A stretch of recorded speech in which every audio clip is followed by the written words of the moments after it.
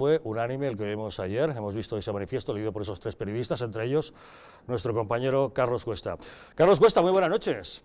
Muy buenas, ¿qué tal? ¿Cómo estáis? Bueno, estábamos aquí recontando un poco las cabecitas que veíamos en las imágenes. A nosotros nos salen como unas 300.000. ¿Tú contaste muchas ayer? Yo conté muchas, y desde luego muchas más de las que contó la delegación de gobierno, pero bueno, ya se sabe que si nosotros hablamos y tenemos derecho de expresión o libertad de expresión o derecho de opinión, es que somos unos peligrosos fascistas. Ahora, si se utiliza un organismo público, con fondos públicos, una institución, para hacer una tergiversación absoluta, es que están en el puro derecho de expresión suyo. ¿Cómo definirías, cómo catalogarías lo que viviste ayer en esta gran concentración? Mira, yo, yo creo que eh, en cuanto le escuchas a la izquierda decir que es que eh, una movilización se ha quedado por debajo de las expectativas, claro, las expectativas las fijan ellos, con lo cual ganan siempre. O sea, cuando la izquierda pasa a tener ese discurso, que es no considerarte como que no ha existido, sino que te da la categoría que ha existido, entonces pasa a atacarte, significa que literalmente la movilización y la manifestación ha tenido un éxito rotundo. Y yo lo que viví desde arriba era un éxito rotundo. Es decir, muchísima gente en tres, cuatro días sin haber hecho una gran movilización en cuanto a eh, recursos, autobuses, etcétera, es decir, de forma absolutamente espontánea, apareció en un número de 200 y pico mil, 300 mil personas. Un domingo con un frío que pelaba, etcétera, etcétera. Y esto convocado en tres, cuatro días. Es decir, yo, eh, la izquierda me parece muy bien que esté temblando en estos momentos porque ve que ese monopolio de la calle que tenía se le ha escapado, porque se da cuenta que el centro derecha está ya de los complejos, está más arriba del gorro, bueno, pues me parece muy bien que se pongan nerviosos, pero que vayan asumiendo además una cosa, si la ventaja del centro derecha es que hace una movilización y no se rompe ni una papelera, a ver, que se vayan acostumbrando a que los demás tenemos una cosa que se llama libertad de expresión, tenemos una libertad de opinión y podemos expresarla. De verdad que no pasa nada, que se vayan acostumbrando a que el mundo es libre. Yo sé que esto les cuesta, pero bueno, que lo vayan haciendo. El manifiesto lo leísteis tres periodistas, María Claver, Albert Castillón y tú mismo. Realmente supongo que hubo negociaciones hasta última hora. Creo que hasta la víspera por la noche no acabaron de ajustarse todos los partidos lo que consensuaban que saliera en ese manifiesto. Sí, a nosotros el texto nos lo pasaron, yo creo que fue, bueno, fue por la tarde del, día previo para que nosotros diéramos el, ok también, obviamente. Eh, sí, supongo que habría habido ahí pues, pues las típicas pugnas porque eh, los postulados de Vox pues a Ciudadanos le, le, chirrían un poco más, ¿no? Yo tengo la sensación de que los postulados que se planteaban por parte de Vox y por parte del Partido Popular no tenían grandes diferencias. Es decir, yo, creo que ahí el acuerdo fue bastante fácil. Además, me consta que Vox no puso grandes inconvenientes ni problemas ni a los asistentes ni al, ni al propio contenido del manifiesto.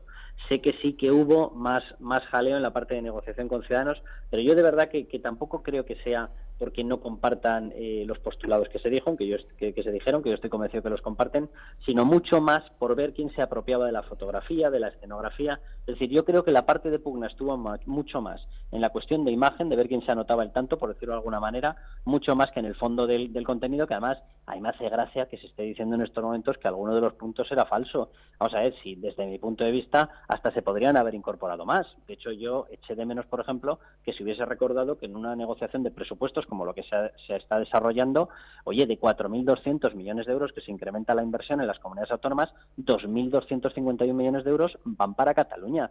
Eso tiene un nombre y se llama robo, pero robo manifiesto a todo el resto de comunidades autónomas.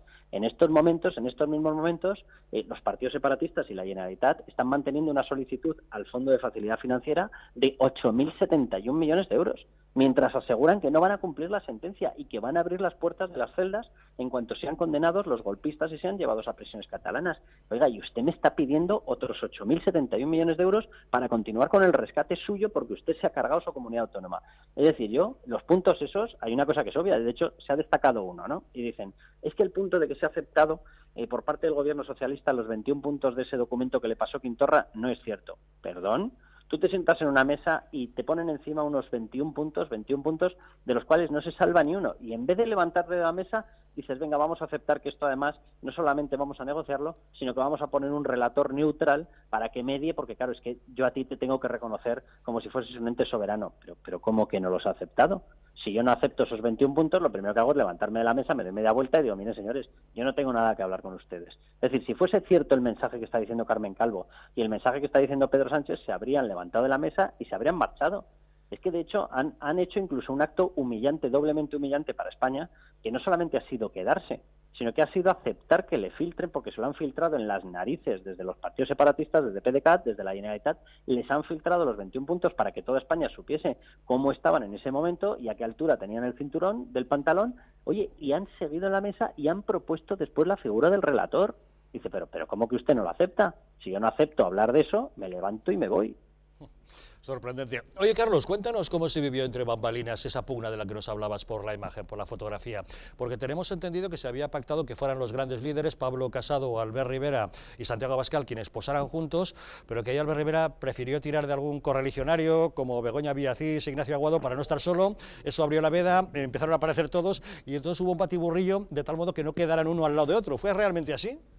Sí, vamos, bueno, fue así, salvo que también tenían que subir en la foto inicial, es decir, los tres más nosotros tres, tenían que subir los otros tres partidos, que eran UPyD, UPN y Foro, el, partido asturiano. Entonces tenían que haber subido los seis partidos más nosotros tres, así se nos comentó eh, 20 minutos, 30 minutos antes del acto, cuando estábamos ya subidos, de hecho, en el, escenario, en esa plataforma que tiene el monumento al, descubrimiento. Estábamos ahí y se nos dijo así, literalmente, y se nos dijo, bueno, van a subir estas personas, vosotros vais a estar eh, en medio sacáis la fotografía.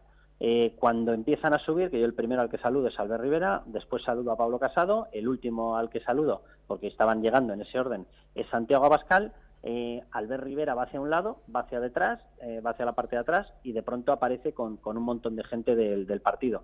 En cuanto se vio que se desbordaba y que lógicamente eso no era lo pactado, el Partido Popular empezó a llamar a su gente, que tenía un montón de gente debajo, empezaron todos a subir, todavía llegó más gente, eh, Vox llamó a los que tenía, Vox tenía ahí menos porque no contaba con esta historia, subieron los que estaban y nosotros literalmente, te lo digo, salimos hacia atrás despedidos, vamos, eran empujones, literalmente. Yo cuando me viene esa tesitura dices, ¿qué, ¿qué hacemos? Vamos a ver, nosotros hemos venido aquí a defender la unidad de España, la Constitución, oye, que os queréis pelear por el protagonismo, haced lo que queráis, y nosotros nos quedamos en un, en un segundo nivel, y nada, de hecho hay alguna foto por ahí en la que se nos ven tres cabecitas así desperdigadas por el fondo, eh, incluso riéndonos, ¿no? Porque fue una escena un tanto extraña, ¿no?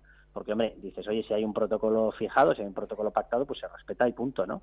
Y en la fotografía, pues yo creo que a la gente de Ciudadanos no le gustaba demasiado porque al final iba a ser una fotografía que por mucho que estuviésemos en medio nosotros o que estuviese en medio Pablo Casado, hombre, no dejaba de estar pegado eh, Albert Rivera a Santiago Abascal y como ya ha dicho 800 veces que no quiere acercarse, que no, que no, que no quiere una fotografía, pues yo tengo la sensación que se decidió llenar el escenario de forma que se difuminase un poco esa fotografía de los dos juntos. Bueno, oye, son cosas, yo te adelanto que de todas formas esto de la pelea por el protagonismo y por la fotografía que se da por hecho en la política, oye, yo tampoco te creas que le doy demasiada importancia. Lo importante ahí era que se viese claro que hay una parte de la sociedad civil que por mucho que nos insulten vamos a estar siempre en la defensa de la Constitución y en la defensa de la unidad de España. Yo sé que esto a la izquierda le cuesta masticarlo. Es que me importa un soberano comino lo que le importe o no le importe. O sea, yo estaré donde tengo que estar por mis deberes y por mis principios. Punto. ¿Les gusta? Genial. ¿No les gusta? Pues doblemente genial. Y, lo importante era que estábamos allí, esos representantes de sociedad civil, que había un montón de gente, yo no sé si fueron 300.000, 400.000, no lo sé, había un montón de gente para el poquísimo margen de organización que se tuvo en esta movilización y que los tres partidos constitucionalistas estaban allí. Entonces, oye, mira, pues, pues que Ciudadanos quiere tener más protagonismo, más gente, bueno, pues que, que hagan lo que quieran, ¿no? A mí la verdad que me quedo, me quedo mucho más con lo bueno que con esa otra historia. Tienes toda la razón, Carlos, efectivamente, si querían pugnar, que pugnasen, eso es lo de menos, es un tema menor, anecdótico a fin de cuentas, lo importante es que era mucha, muchísima gente la que salió ayer con su bandera de España para defender la unidad nacional y para pedir convocatoria anticipada de elecciones. Por cierto, ¿te crees lo que nos contaba esta mañana la agencia EFE del 14 de abril para unas elecciones anticipadas o, o coincides con los que estamos esta noche aquí en que no nos lo acabamos de creer todavía? Coincido, coincido.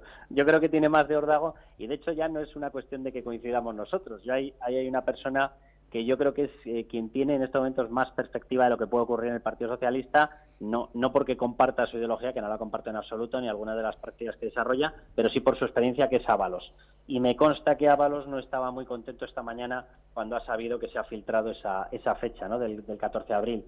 Yo creo que es un órdago que se ha lanzado para intentar presionar a los partidos separatistas, pero el problema de los órdagos es que tienes que estar dispuesto luego a ejecutarlos, porque como des marcha atrás, pues bueno, has quedado un poquito mal. Entonces yo tengo la sensación de que esta jugada de lo del 14 de abril no le va a salir muy bien al PSOE.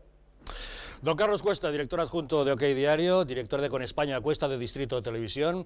Enhorabuena por el trabajo de ayer y muchas gracias, como siempre, compañero, por atender nuestra llamada. Muchas gracias, un abrazo. Un abrazo, hasta luego. Bueno.